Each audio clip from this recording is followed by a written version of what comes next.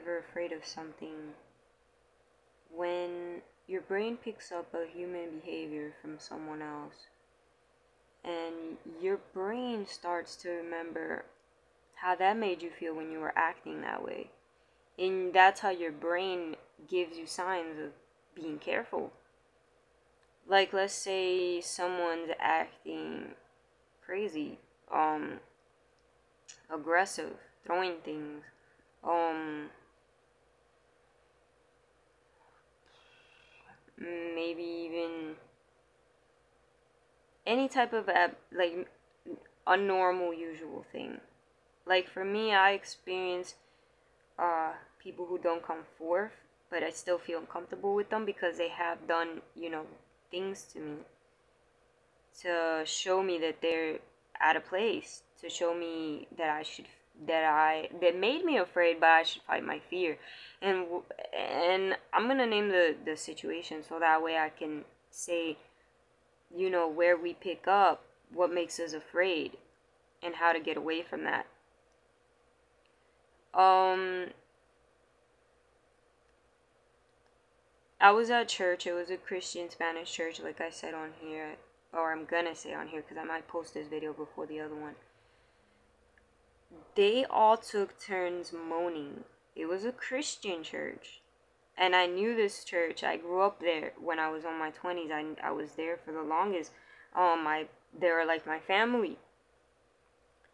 And I remember hearing them take turn moaning now, the reason why I talk like this as well, my background is Jesus. I grew up reading the Bible and Jesus, Moses, all of them. Mainly Jesus. He grew up his teachings. Not saying that I like the Bible. I don't like it as a weapon used against every person. Um, because people don't know what it says, they misinterpret it. But if you go and look at science and wisdom, which is learning through experience, you're to see that people are using that against even their own lives, especially Christian people.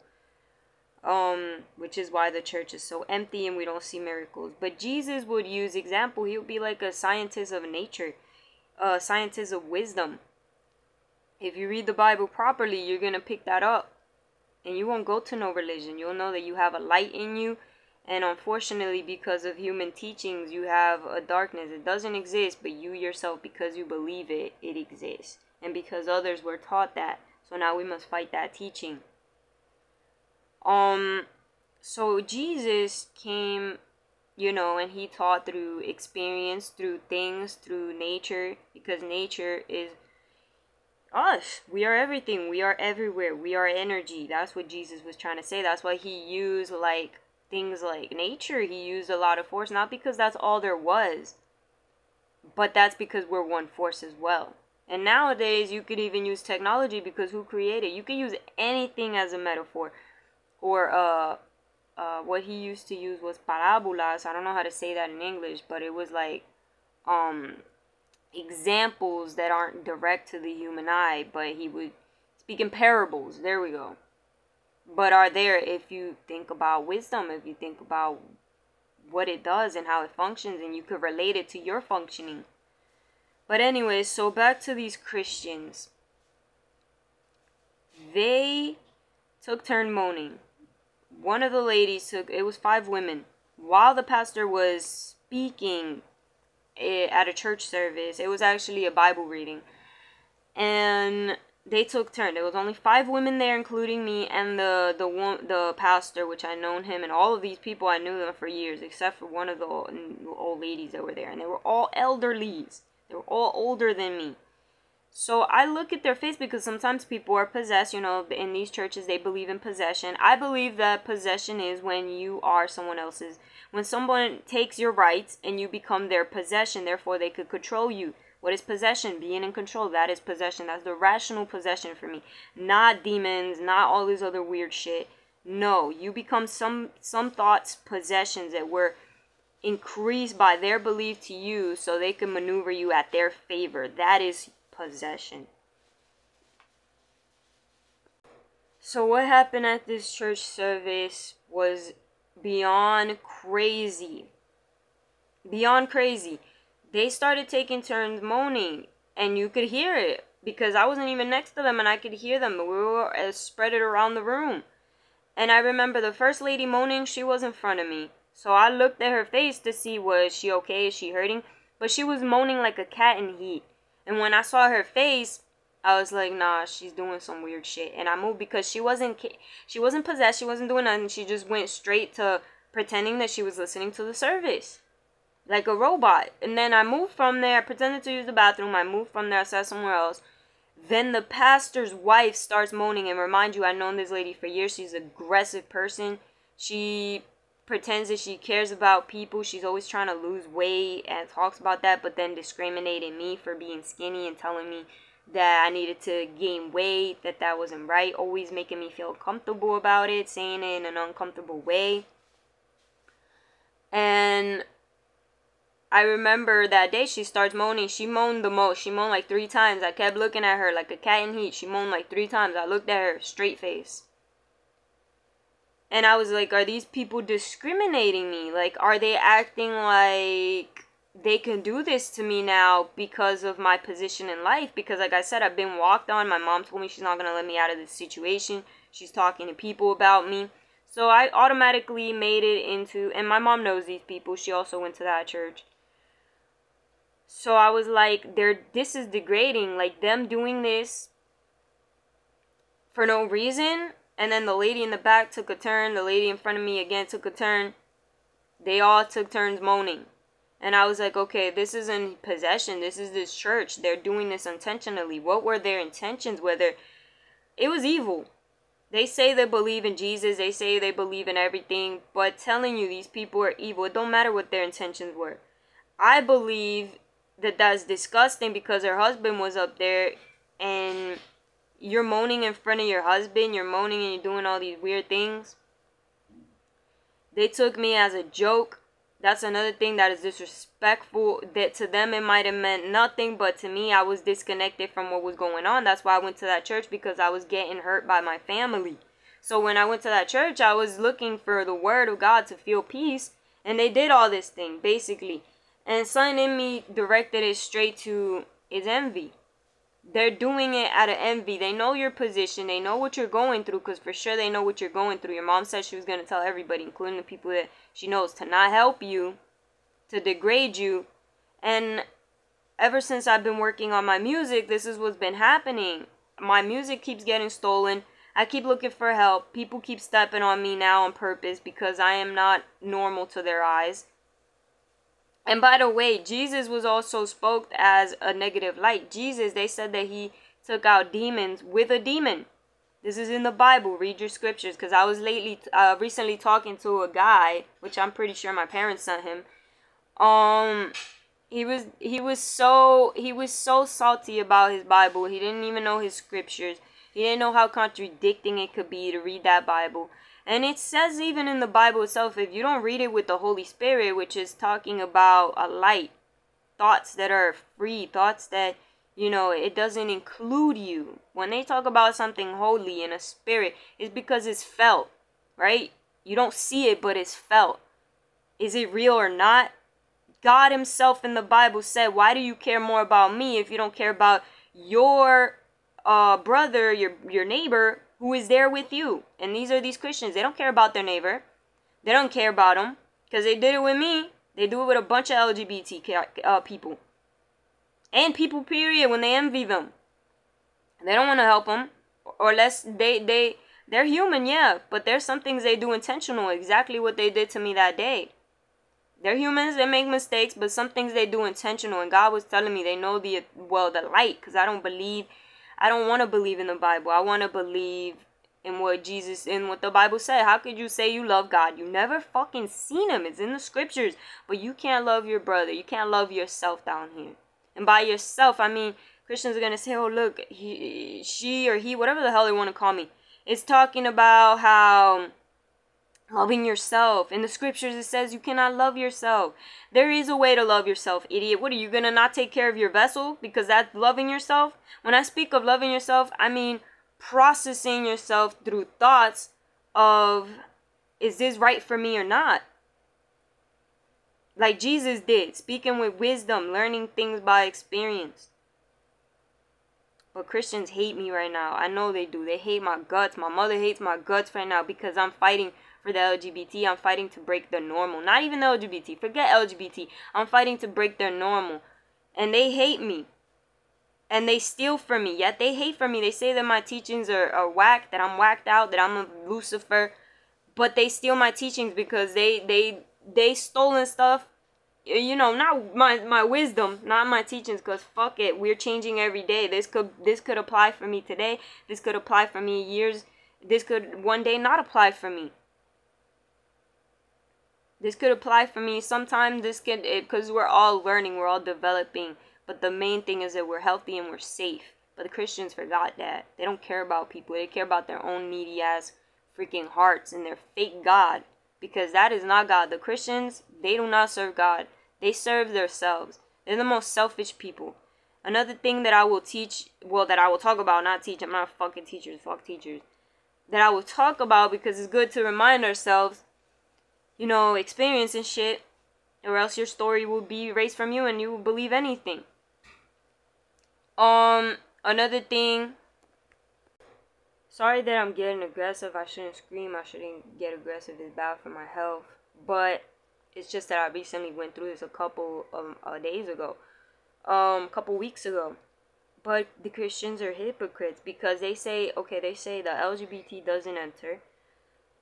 But look at the book of Enoch, where makeup came from. Where did the makeup come from? Fallen angels that taught humans when the fallen angels fell in love with the women of this world. They broke the law of God, they broke his rules he they came down they had sex with women and then they taught these people about weapons and they taught them about you know how to be seductive how to how to use that power not to say it's bad right but that was taught by fallen angels. And the christians still apply that. They apply that christians now wear makeup they wear jewelry and all of this was fall this all these teachings are taught by angels who disobeyed god. And then because they taught human minds about weapons and i'm guessing god saw that as humans don't know about this yet. And they taught it before because god did want to teach us everything but he wanted to teach us i know he wanted to teach us everything. But at our capacity like kids you will not teach kids about weapons right they don't know you would say that it exists be careful with it but because these weapons didn't exist god didn't have to tell us that be careful with it he probably didn't want that for us. He probably just wanted us to live in peace and harmony. Just like he didn't want us to try the tree of, uh, you know, knowledge. Because he wanted us to live in peace and harmony. He, he got us. He was protecting us. Like some parents are with their kids. But somehow, I don't know. Like, I don't believe in the, I don't, like I said, I don't believe in the Bible. But I'm trying to make the best of it with what I experienced with my life. Because even in the Bible itself, God said this. God said this himself. How could you say that you love him? By love, you have to believe in something, right? You have to be close to something. How could you be close to God and you, you know, don't, you're not close with your, with your people here, with the people you see. That's what God was trying to say. So that's what I'm trying to put first. Me. First me. Because if I don't know what hurts me again, I don't know what offends me. Because I lost a lot of moral values by being stepped on and and and in a bunch of different ways, degraded in a bunch of different ways. Um, if I don't care for my health, how could I care for someone else's? So that's what I'm trying to get back at. Like I said, I didn't even use to curse. I did. I. I didn't. I didn't even talk in this matter. Uh, in this form. I used to talk. You know, like I'm not under stress. Like I'm peaceful. Like everything's chill but I let a lot of family members do me harm, and there that was the first thing. And then after that, a bunch of people started getting used with what they were doing and doing shit to me too. And a bunch of people, even people in high authority, people in the industry that my family knows. So this is why I'm trying to take my voice back. I'm trying to get out of, pull myself out of it. Because family not not everybody's good. Not everybody's family. And that's something i learned that my mother when she started envying my music um because she was the first person who told me that she didn't believe in my music. She said she hated it. It's ugly. And i still remember that day um and it was a song for God. It was a it was Metro. That was a song I wrote for God, telling him that I will always follow him because those are my my old beliefs. Now I just believe that um I have to stay strong and believe there is a light there. We are energy and we travel. And we have to protect that as if it's our vessel as well. We can't just let people walk all over us. And we could feel other people's energy, but the best thing is not to be an empath. The best thing is to just not feel other people and go by what you want because you only have one experience in this world. Go by what you want, process that, and know how what will hurt you and what wouldn't hurt you and what you want, so you don't do it to others. That because then we connect with people that have this is what happens because we're energy. Then we meet people that want the same values, the same things, and we could. That's beautiful. We could connect with them, but if we don't see what hurts us, they're gonna envy you. They're gonna steal from you. You have to have some kind of moral rights to how to achieve your things. With me, I let people walk on me. I kept seeing people steal from me and say they love me. I kept saying I kept uh, dating uh, another thing that happened that I thought I should be with people and believe that I should be with people that and I wasn't like that. I used to talk to a bunch of people and and I wouldn't give nobody a chance unless I saw a commitment. And when I started talking to my family again, I thought, "Oh, well, I'm being stepped on because I should be, you know, more open." And what happened? I was more open in the wrong way to experiences that I wanted to have. Because obviously, people, not everybody wants good intentions with you. And you attract things as well. If people could see that you're you're easily stepped on, they would want to step on you too. To get what is yours. And that's what happened with me. Because you attract that. You keep attracting that same energy. Not that you are that force, but because you are you're saying you're the vulnerable force, people are gonna keep stealing from you. And that's gonna be your life. But if you stand up and you say no, I have to stand up. There's a, a moral right, to, a moral way to for for me to fight this. And moral isn't always the same in every, you know, but like the a peaceful way, a helpful way for you and the other person, even though they're bad people, but for the other person not to get away with what they're doing. Um, because as soon as you turn aggressive, because that's what they want out of you. As soon as you turn negative, because that's what they want, because the energy is negative, there's a dark energy that I believe we ourselves created that because we did. Even to the Bible, according to the Bible, we created it.